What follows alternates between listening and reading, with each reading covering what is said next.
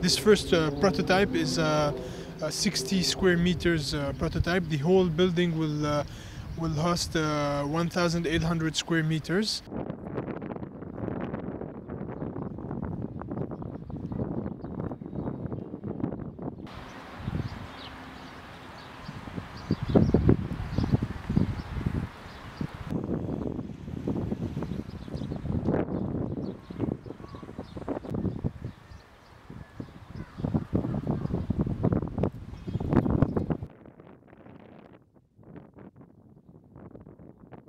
Th- this stone vault is the first that is built with this technique and at this scale in the world.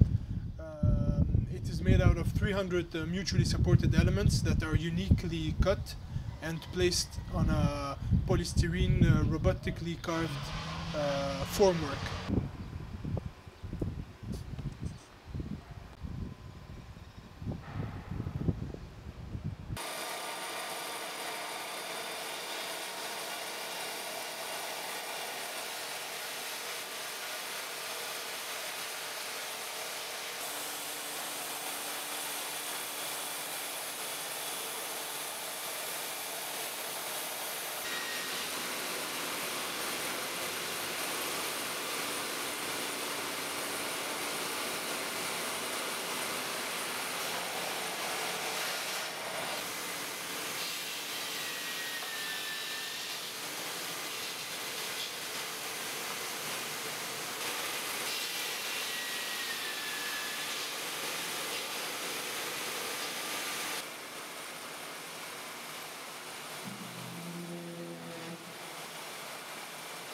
So basically, um, stone was used as a noble material that had uh, structural and thermal properties uh, in, in buildings, while today stone is being used more as a decorative, uh, as a decorative um, uh, element in buildings.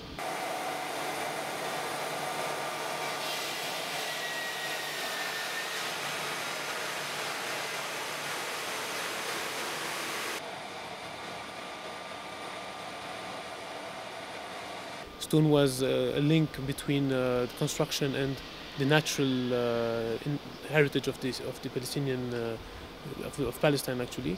And uh, gradually it became something that is more related to the aspect of buildings and no more something that uh, anchors buildings into their landscape and into the urban scenery.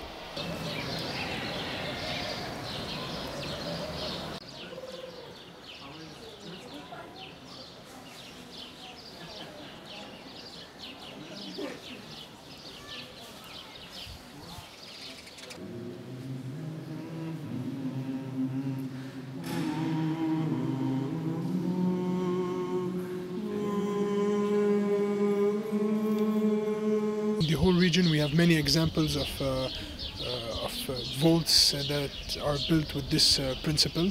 And in Jerusalem, we have this cupola in the Church of St. Anne that was built by the Crusaders in the 12th century. And it is a complete example of the Crusaders' architecture because it puts together um, architectural elements imported from the West and indigenous uh, uh, elements.